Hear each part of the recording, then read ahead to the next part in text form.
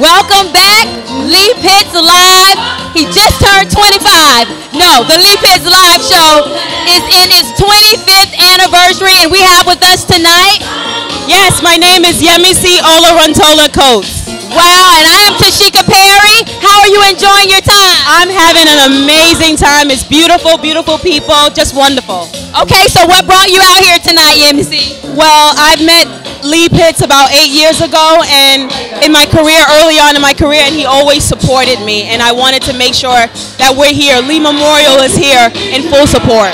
Absolutely. Well, we want you to look into that camera and give Lee Pitts Live the biggest shout out for 25 years. Lee, congratulations for all your accomplishments. I look forward to another 25 years. All right. Do not touch that dial. We will be right back with more Lee Pitts Live 25.